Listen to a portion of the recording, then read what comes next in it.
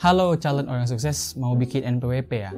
Gue bakal bahas caranya secara lengkap di sini. Tapi sebelum itu, rule the intro.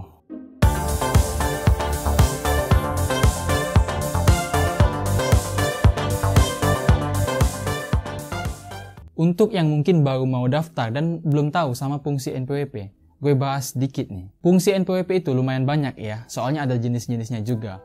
Ada NPWP buat pribadi, NPWP badan usaha, dan lain-lain. Bahkan di AdSense juga sekarang mengharuskan kita untuk membuat NPWP supaya nggak potong nggak kena potongan pajak yang gede maksud gue. Buat lo yang udah channelnya udah monet pasti paham lah ya.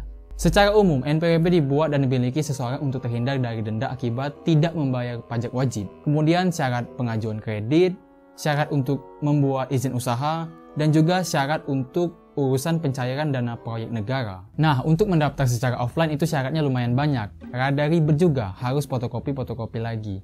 Kalau online itu lebih hemat biaya dan waktu karena tinggal ketik-ketik aja di HP atau di laptop PC. Kamu harus menyiapkan KTP, surat izin usaha kalau mau bikin usaha. Dan untuk mendaftarkan NPWP kita secara online itu cukup dengan nyiapin KTP kartu keluarga, sama surat izin usaha kalau keperluannya emang mau ke sana. Silahkan akses situs irech.pajak.go.id. Di beranda situsnya, klik tulisan biru bertuliskan daftar untuk membuat akun terlebih dahulu. Di sini, silakan isi email dan isi kapta, mengikuti yang tertulis di kanan atas formulir ya. Misal udah kelar, klik daftar. Kalau udah ada keterangan begini, sekarang kita klik tutup dan buka email kita yang diinput tadi. Di email akan dikasih instruksi panjang untuk kita baca, dan kita bisa klik aja tulisan berwarna biru. Boleh yang pertama atau yang kedua.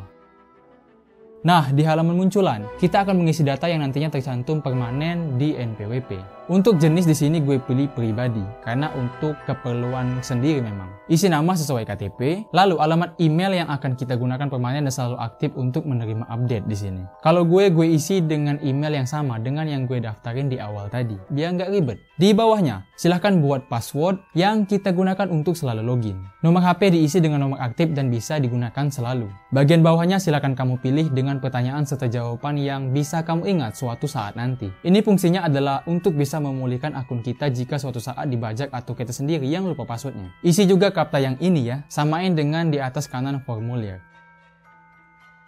Kalau udah, langsung klik tombol daftar. Dan sekarang kita buka lagi email yang kita input ke akun. Sama kayak tadi, kita klik tulisan biru untuk verifikasi. Sekarang, kita bisa login atau masukin email dan password yang kita input di pendaftaran barusan. Masukkan juga kapta yang diminta.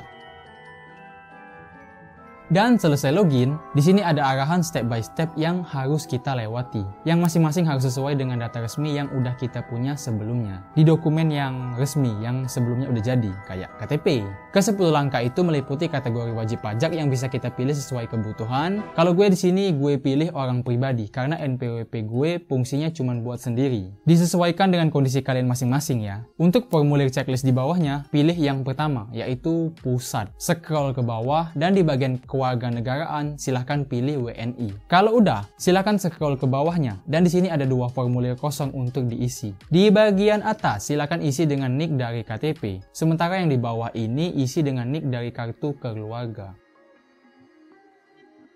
Kalau serasa udah benar nomor induk kependudukannya, klik tombol cek. Kalau benar, dia akan muncul keterangan validasi sukses. Sekarang silahkan klik tombol next.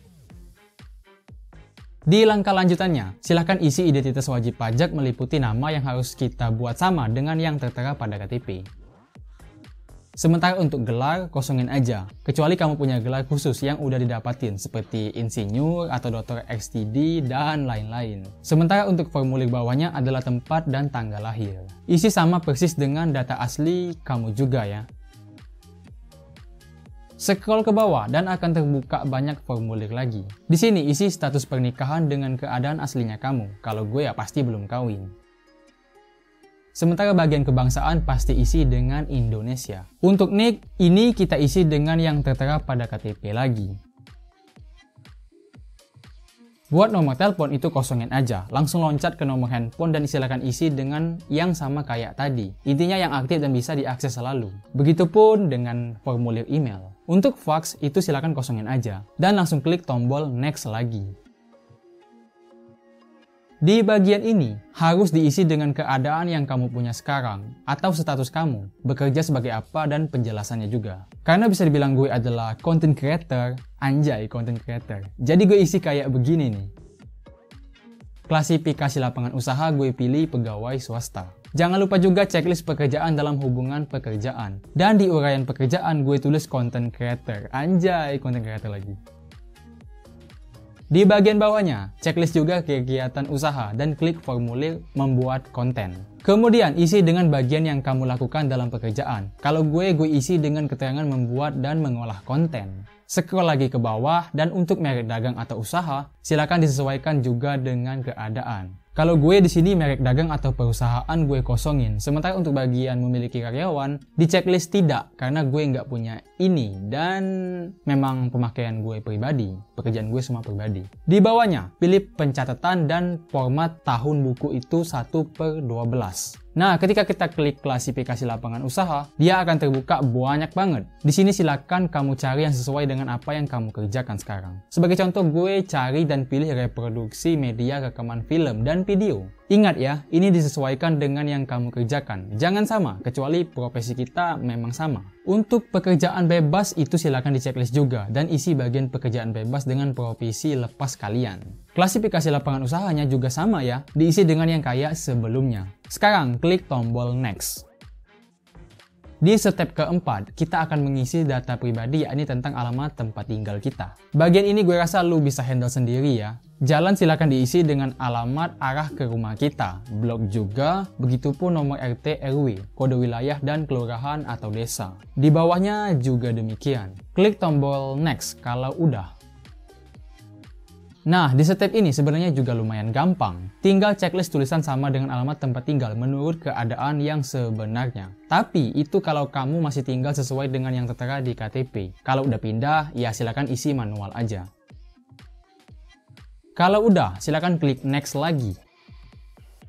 Di langkah ketujuh, ini sebenarnya sama kayak step sebelumnya. Cuman kita akan mengisi tempat atau wilayah sesuai dengan alamat kita bekerja. Kalau kamu kerja dari rumah kayak gue, ya bisa langsung klik checklist di keterangan sama dengan alamat tempat tinggal menurut keadaan sebenarnya pada bagian yang atas. Kalau kamu kerja di kantor, ya silakan isi alamatnya dengan alamat tempat kamu bekerja tersebut dan klik next. Di bagian bertuliskan info tambahan ini, kita bisa isi dengan informasi sesuai gaji kita. Silakan diceklis sesuai dengan yang kita dapetin, gaji kita per bulan maksudnya. Sebagai contoh, gue isi dengan yang pertama yaitu kurang dari 4,5 juta. Karena ya memang duit atau gaji dari YouTube itu nggak tetap, bisa naik banget, bisa turun banget. Kalau udah, silakan klik next. Di langkah 8 tentang persyaratan akan kita selesaikan dalam satu kali klik, di mana kita bisa langsung ngeklik tombol next.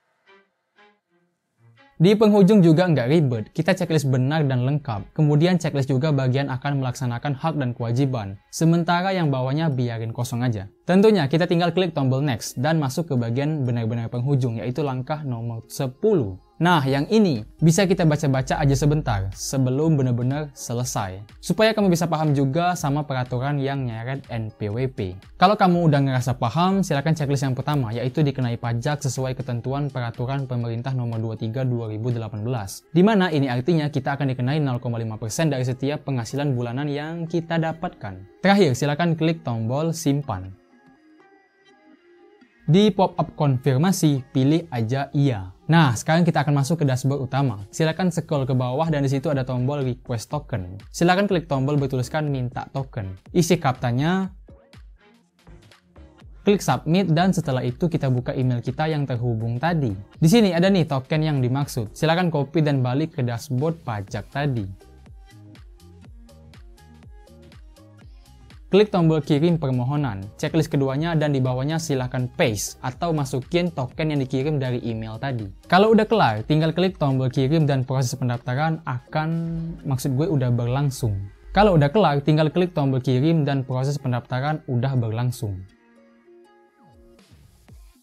Kalau mau ikut survei dari situsnya, silakan klik ikutin survei. Dan kalau nggak mau, klik lewatkan aja. Dan yang tadi statusnya lengkap akan berubah menjadi verifikasi. Sekarang NPWP kita udah jadi, nomornya juga udah tertera nih. Dan beberapa waktu kemudian, kita juga akan mendapatkan cetakan kartu NPWP kita untuk versi elektronik di email yang terhubung kayak gini. Jadi, pastiin email yang kamu masukin itu adalah email pribadi yang aktif kamu gunakan. Bisa diakses kapan pun. Sementara untuk kartu fisiknya itu akan menyusul. Jadi silakan ditunggu aja, pasti akan dicetak dan dikirimkan ke alamat kamu. Ribet nggak? Nggak sih harusnya, tinggal pengisian datanya aja yang harus benar-benar valid dengan yang udah tertera di dokumen resmi sebelumnya yang terbitan pemerintah kayak KTP, surat izin usaha, dan kartu keluarga. Semoga bermanfaat. Dah.